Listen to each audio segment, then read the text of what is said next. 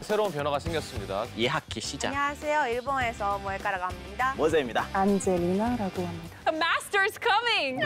백종원입니다.